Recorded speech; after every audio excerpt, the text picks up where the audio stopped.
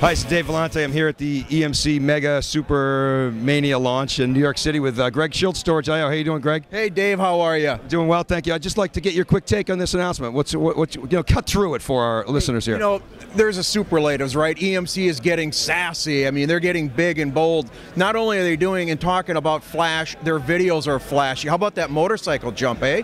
But you know what's interesting in all this, Dave, is they're showing that the ability to scale, the ability to grow. Look, demand is going up, the requirement to drive cost is down, but customers have to keep that quality of services going. Taking cost out, taking complexity out is going to help drive innovation. Dave, innovation is doing more with what you have, maintaining or enhancing quality of service, reducing per unit cost. Any organization that can do that and enable their customers to be more innovative, that's going to be a winning solution. So it's kind of like cloud meets big data meets legacy apps, right? Is that? that's a flashy video. All right, Greg Schulz, thanks very much. Appreciate it. Thanks a lot. My pleasure. See you around. Thank you. Yeah, that's great. So